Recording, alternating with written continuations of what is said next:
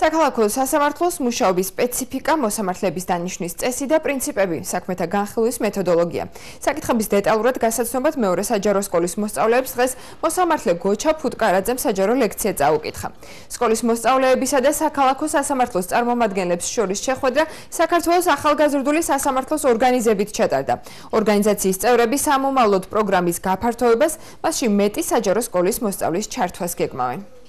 ხმამა ბავშვებმა უშუალოდ გაეცნენ სასამართლო სისტემის მუშაობას თუ რა პრინციპებით განიხილება საქმეები სხდომებზე აგრეთვე გაეცნენ მოსამართლეებს კანცელარიის მუშაობას სასამართლოს არქივს. და აგრეთვე მათ ჰქონდათ იმის შესაძლებლობაც რომ გასაუბრებოდათ ბათუმის საქალაქო სასამართლოს მოსამართლეს. უშუალოდ მიზანი არის მართლმსაჯულების გაძლიერება. ზოგადად საქართველოს ახალგაზრდული სასამართლოს მიზანსაც ერთ-ერთ ფუნდამენტურ მიზანსაც ეს წარმოადგენს. ჩემთვის ძალიან მნიშვნელოვანი იყო დღევანდელი შეხვედრა სასამართლოში.